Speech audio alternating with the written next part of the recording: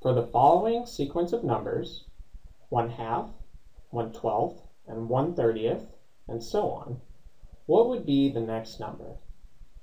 So when I see problems like this, looking to find a pattern in a sequence of numbers, I try a couple simple things first. The first thing I look at is whether or not we're adding or subtracting the same thing between terms. With a little arithmetic, it becomes clear that we're not adding or subtracting the same number from term to term. So we can eliminate that option. And the second thing I'll try is whether or not we're multiplying or dividing the same thing from term to term.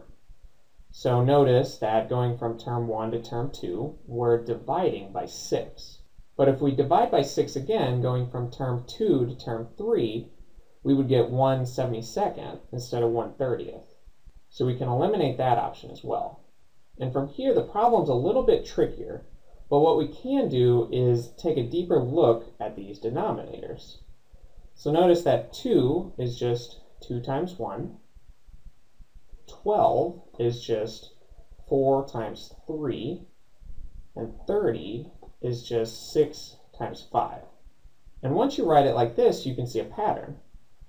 The first term has the first two integers. The next term has the next two integers after that, 3 and 4. And then the third term has 5 and 6, the next two integers after that.